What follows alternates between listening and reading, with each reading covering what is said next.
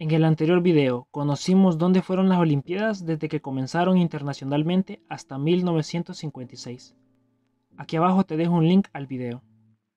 Ahora repasaremos todas las restantes hasta la actual, celebrada en Tokio. Bienvenido a mi canal y disfruta del video. Roma 1960 Celebrados entre el 25 de agosto y el 11 de septiembre asistieron 5.348 deportistas representando 83 países. Por segunda ocasión, un atleta fallece mientras participa en los Juegos. Esta vez fue el danés Knut Jensen, que estaba bajo influencias de drogas y por ello falleció mientras competía en ciclismo. Tokio 1964 El atleta Yoshinori Sakai fue quien llevó la antorcha al inaugurarse estas Olimpiadas, este joven nació en Hiroshima, justo el día de la explosión de la bomba atómica. Los Juegos fueron inaugurados el 10 de octubre, finalizando el 24 de ese mismo mes. Asistieron 5.121 atletas de 93 nacionalidades distintas. Tokio ya había sido elegido para ser la sede en 1940, pero por conflictos con China desistieron de ello. De igual forma, no se hubieran celebrado ya que ese año no hubo competición. Ciudad de México, 1968. En esta ocasión se representaron 112 países con 5.546 atletas. Estos Juegos comenzaron el 12 de octubre, terminando el 27 de ese mismo mes. Fue la primera transmisión a color de unas Olimpiadas y también fue la primera vez que una mujer encendía la antorcha. Su nombre es Enriqueta Basilio. Casi fueron cancelados por una masacre que hubo días antes en la Plaza de las Tres Culturas de Tlatelolco. Múnich, 1972. Comenzando el 26 de agosto y terminando el 11 de septiembre, asistieron 7.830 atletas de 122 países. Este fue un año oscuro para las Olimpiadas, ya que un comando palestino que se hacían llamar Septiembre Negro asesinaron a 11 israelíes en los que fallecieron ellos también y un policía mientras intentaban liberar a los rehenes. Montreal, 1976. Se inauguraron el 17 de julio y se clausuraron el 2 de agosto. 24 países africanos se retiraron por políticas racistas del comité, por lo que solo participaron 92 países, con 6.028 representantes. El atleta japonés Shun Fujimoto se fracturó la pierna en una competencia por equipos. Ya que mantuvo oculto tal suceso, continuó participando en otro evento y obtuvo medalla de oro. Moscú, 1980. Comenzaron el 19 de julio y terminaron el 3 de agosto. Compitieron 5.217 atletas de 81 nacionalidades en 21 deportes distintos.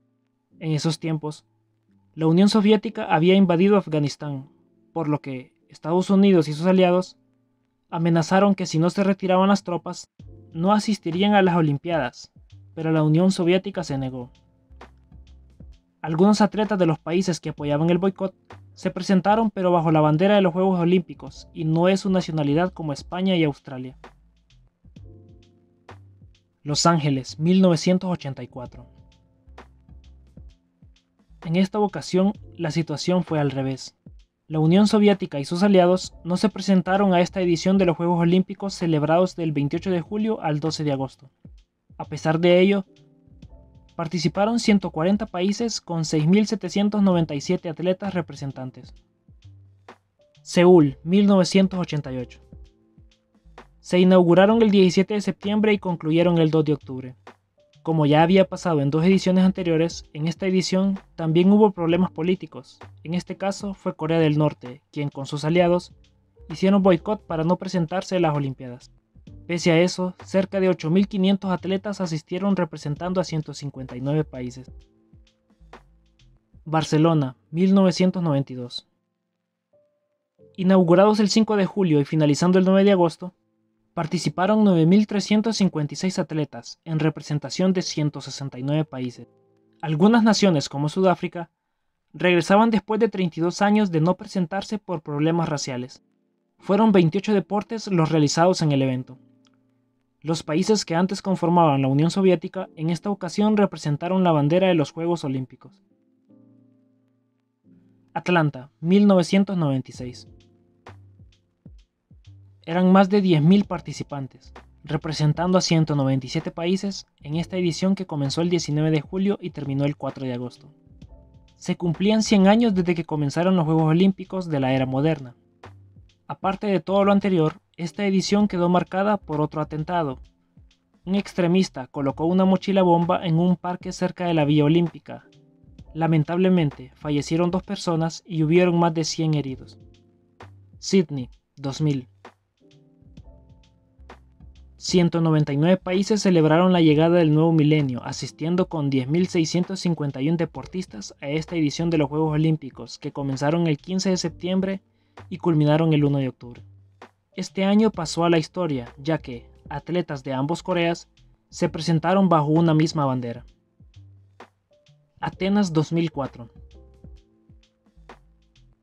Después de más de 100 años, los Juegos Olímpicos regresan a su país de origen. Cerca de 11.000 deportistas asistieron en representación de 201 naciones. Algunos eventos se realizaron en donde comenzó todo en la antigüedad, en Olimpia. Beijing 2008. Se inauguraron el 8 de agosto y terminaron el 24 de ese mismo mes. 11.028 atletas participaron representando 204 países y regiones. En otras ciudades también se celebraron varios eventos, como en Hong Kong y Shanghái. Londres 2012. 10.523 atletas asistieron, representando 204 naciones. Comenzaron el 27 de julio y terminaron el 12 de agosto. Es la única ciudad donde se han realizado tres ediciones de los Juegos Olímpicos, siendo los primeros dos los de 1908 y 1948. Río de Janeiro 2016.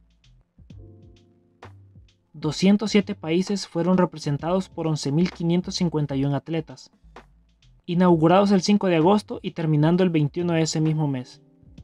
Estas Olimpiadas casi fueron pospuestas ya que había un brote grande de Zika en muchos países de Latinoamérica y querían evitar que la enfermedad se expandiese a otras naciones. También se detuvo un posible atentado ya que el 25 de julio se detuvieron a 12 personas sospechosas de querer realizarlo. Tokio 2020